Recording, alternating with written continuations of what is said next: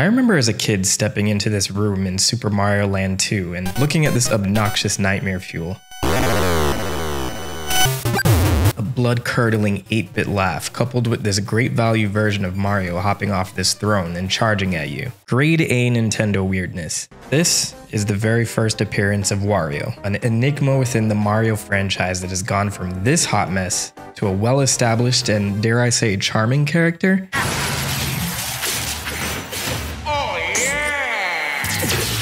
But how did he come to meet Mario and eventually get two series that stood on their own feet? Let's dig a little deeper into the origins of Wario and find out. I am the Mentok, and welcome everyone to Origin Oracle. Kick back, grab some snacks, and let's head back in time. Destroy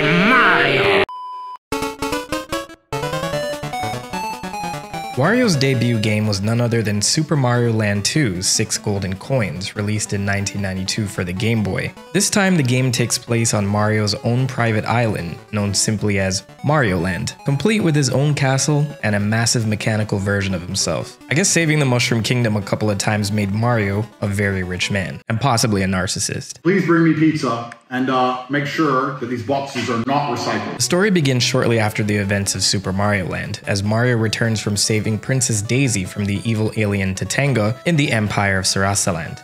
you should go check that video out. But before Mario can head back to start sipping Mai Tais in his throne room, it looks like Wario has hypnotized all the inhabitants of the island and conquered Mario's castle while he was away. I also like that the story in the instructions booklet is told from Mario's perspective, who mentions that Wario has been jealous of his popularity ever since they were boys. We'll look more into that later. For now, Mario has to go track down the six golden coins that Wario spread around the island since they serve as the keys to his castle. And you'd think Mario would take these with him if Wario has tried this multiple times already. Anyway, Mario sets off to the six major zones on his island to get back each of the six golden coins, each guarded by a different boss like Witch, and Big Bird. I know I complained about the lack of localization for the boss names from the first Super Mario Land, but these are definitely a bit plain. So Mario Land is split up into the Tree Zone, Space Zone, Macro Zone, Pumpkin Zone, This place sure feels haunted. Turtle Zone, and Mario Zone, which gives this game a really diverse set of levels, each with much more elaborate backgrounds and level design than the first game. Topanga! Yes, they even featured Tatanga as a boss in the Space Zone, returning as Wario's minion to get revenge against Mario. So while Mario here is collecting the golden coins, let's see how this game and Wario came to be. Super Mario Land 2's development was once again handed back to Nintendo R&D 1, the team responsible for the first Super Mario Land title, and Gunpei Yokoi would return as the producer. This would be yet another title without the involvement of Shigeru Miyamoto, who worked with another department, Nintendo Entertainment Analysis and Development. And if you're curious, they were probably working on Super Mario Kart around this time. The developers of Super Mario Land 2 wanted to take another departure from what was already established in Mario titles. One of these major changes was removing a princess from the equation and instead having to have Mario strive to get something back that once belonged to him.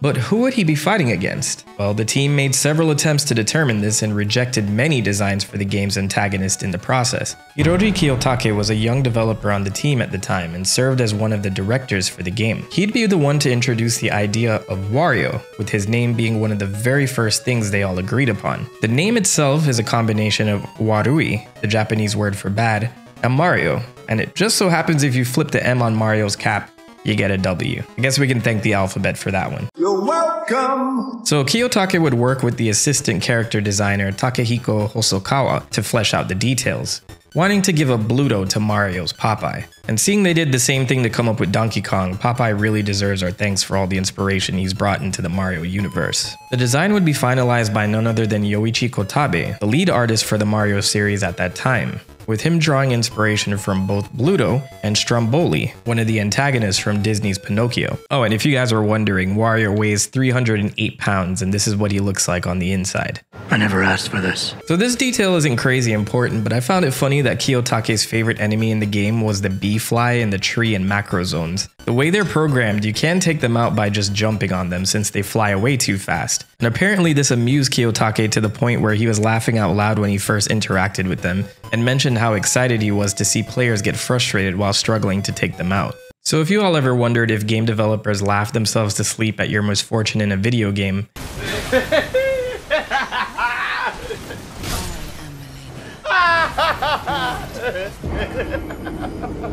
The answer is yes. This game is a classic gem, and even though it obviously serves as a sequel to Super Mario Land, it's an improvement in every possible way. It's lengthier, more challenging, has interesting level themes, and a banging soundtrack by Nintendo's sound veteran and Yoshi's voice actor, Kazumi Totaka. I definitely recommend checking this out if you haven't. It still holds up pretty well and even has a ROM hack called Super Mario Land 2 DX that gives the entire game a splash of color, which honestly breathes new life into it. Anyway, let's see how Mario's doing. Oh nice, you have the last golden coin. Well, it's off to Mario's castle to finally take down Wario, and we've come full circle with Wario grinding his feet on Mario's couch. This is an interesting boss battle in itself, as Wario goes through three phases using different power-ups that Mario has been utilizing within the course of the game. Despite Wario's best efforts, Mario wins the day, and Wario is reduced to a crying mess on the floor. This was a nice touch. Well, with Mario's castle reclaimed and peace restored to his lands, what happens to Wario? Well, before we get into that, I wanted to take a look at the earliest point chronologically in Wario's timeline. Seeing as Mario mentions him in the manual for Super Mario Land, it's safe to say that they've met before, but where exactly did they meet? Well, we'd see their very first meeting in a game known as Yoshi's Island DS. I spoke about this game in more detail in Mario's origin video, but I think we need to talk about it for Wario's sake here. So in Yoshi's Island DS, Bowser goes back in time to kidnap a bunch of babies from the Mushroom Kingdom in hopes to find the seven star children, a set of kids that have magical stars within them that, when collected, can make someone the ruler of the universe. I don't know how that works, but that's what the story says. Baby Mario, Luigi, and Peach are kidnapped by Kamek and the Toadies, but this kidnapping is cut short by the stork, who's finally had it with these guys coming to kidnap babies. This scuffle causes Kamek and the Toadies to drop Mario and Peach, and they fall into the care of the Yoshis, who go on an adventure to stop Bowser and save all the children. We see baby Wario as one of these babies who was also kidnapped, but the Toadies couldn't take his crying anymore, so they abandoned him in a cave. I gotta say, that's pretty funny. Yoshi, along with the other babies, find Wario and take him along for the adventure. Chronologically, this serves as Mario and Wario's very first meeting. There's not much to baby Wario here as they based a lot of his personality on his future greedy persona, with him even leaving the group for a bit to join bandits. And later on, he would even feud with baby Bowser for a bit over treasure. Yoshi's Island DS is one of those Mario plots that you don't think too hard about, especially with this baby DK being the source of a lot of debate but I'll save that rabbit hole for another video. We get a little more context to Mario and Wario's earlier encounters in 1993 from a short comic series called Mario vs. Wario, published within the pages of Nintendo Power issue number 44. the comic was intended to give a little bit more background on why Wario is so adversarial to Mario. And it opens with Mario getting a letter from Wario inviting him to a party at his house so they can catch up after 20 years. So after getting the letter, Mario's actually pretty excited to go visit Wario and takes a moment to reminisce the good times that they had as children on his way there. Meanwhile, we see that Wario never enjoyed their time together accusing Mario of bullying him the whole time, especially when they played cowboys as children. Out of the 1,255 times they played cowboys, Wario only got to be the sheriff once. You find out most of the misfortune here that Wario is describing isn't exactly Mario's fault, but the grudge has already been born, as Wario intends to get his revenge upon Mario's arrival. Most of the events in this comic has Mario being ambushed by the bosses from Super Mario Land 2, but he just kinda naively stumbles his way through each of these encounters. Like in his fight with Witch, she throws pot lids at him and he ends up latching it onto his shoes. He ends up just thanking her and uses them to walk across water on his way to Wario's. And I don't sense any snark here from Mario, I just think he legitimately thinks these bosses are playing around with him. Anyway, Mario finally arrives at Wario's castle and immediately Wario attacks, but just by pulling his air plug on his clothes, Wario deflates down to a much smaller size and once again accuses Mario of always being a bully. This seems to be complete news to Mario and he tells Wario to let bygones be bygones and to stop being a wimp. Hmm, Maybe Mario actually is a bully. To add insult to injury, the comic ends with Mario whipping out the old sheriff outfit to traumatize Wario once again. So this comic was re-released a couple of times with a reprint in the Super Mario Adventures comic, and later as a downloadable file on the Wario Land 4 website. Speaking of which, this website was called Welcome to Greedville, which apparently is called the hometown of Wario. You had the opportunity to play games at Wario's arcade and earn Wario bucks, and then spend those bucks at the Wario Mart so you can get like wallpapers and screensavers and all that cool stuff. Yo, leave me a comment if you still use a screensaver, bro. I had to take a second to cover Welcome to Greedville because I miss when web pages used to do things like that. I don't think it's clear whether this was supposed to be a simple retelling of Super Mario Land 2 or if it serves as events that happened before that game. I'll let you all be the judge. Either way, it gives us a rare look at some early interactions between Mario and Wario, and this also paints Wario here as a more misunderstood character if anything else. So with Wario being ousted from Mario's castle, Nintendo wasn't finished with him yet, with the team at Nintendo R&D 1 coming together again to make his very own title. There was one game in between that that wasn't made by them though.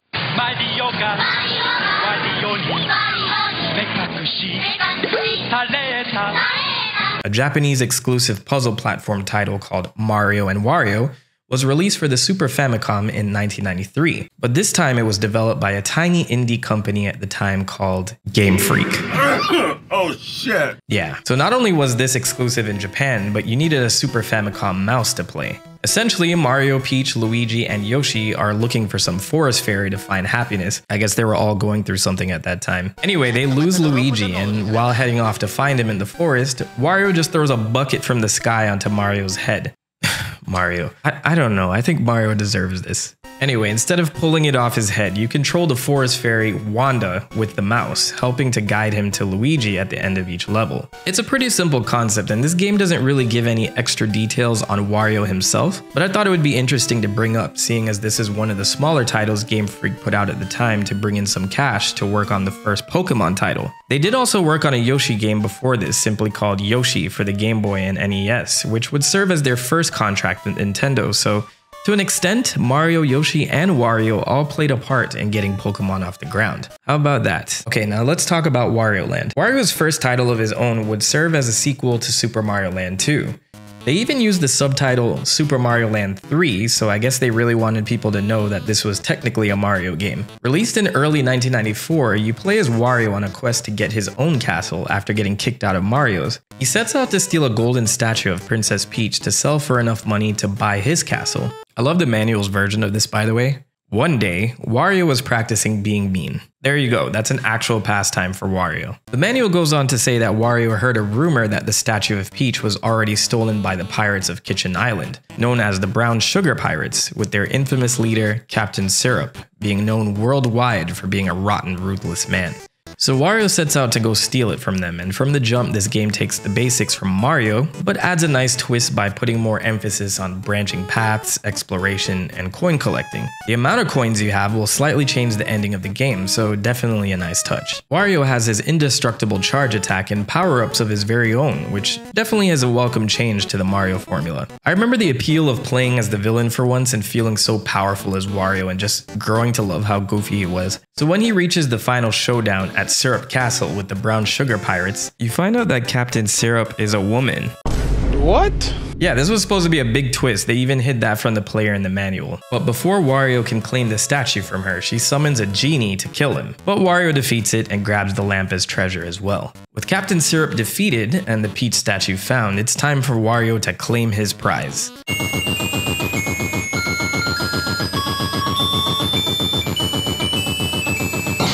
Wow, maybe Mario is actually a bully. I'm just kidding. I know he's just reclaiming the statue, but this is a pretty funny cameo nonetheless. It's okay though, Wario has a whole genie to grant him wishes now, so in the end, he still gets his castle, but he has to pay the genie with all the money and treasures he's gathered on his adventure. Yo, killing me with this! So depending on how well the player does, the ending changes here, with the best options being a whole planet, or a castle. And if he really sucked at the game, the genie will give Wario his very own birdhouse. For some reason, this seems like the more fitting ending. And so that ends Wario Land, solidifying him as a permanent character in the Mario universe. The success of this game opened the door for a whole Wario Land series, with the follow-up game Virtual Boy Wario Land being released for the Virtual Boy in 1995. Now I won't go down the whole Virtual Boy rabbit hole in this video, but just know this system was Nintendo's attempt at a virtual reality console, but everything about it was rather lackluster. Gunpei Yokoi, creator of the Game Boy, was the head of this project and by extension got some of the Wario Land team to develop Virtual Boy Wario Land, bringing Wario back for another treasure hunting adventure. Ultimately, the Virtual Boy was dubbed a failure and discontinued within a year, only selling 770,000 units within its lifetime. This was unfortunately when Gunpei Yokoi would step down and leave Nintendo, but not before he helped complete the creation of the Game Boy Pocket. Tragically, he'd pass away a year later after being struck by two automobiles while checking the damage on his car after a minor fender bender. Say what you will about this man and the Virtual Boy, but he was one hell of an inventor. Rest in peace, Yokoi-san. Despite the failure of the Virtual Boy, the Wario Land series would go on, spawning several other titles that now place the focus on Wario's treasure hunting adventures. And these games introduce totally different enemies and characters from what we've already seen in Mario's games, giving Wario Land titles their own charm and identity. And I gotta say, Wario World for the GameCube has probably one of the best pause screens of all time because of this song right here.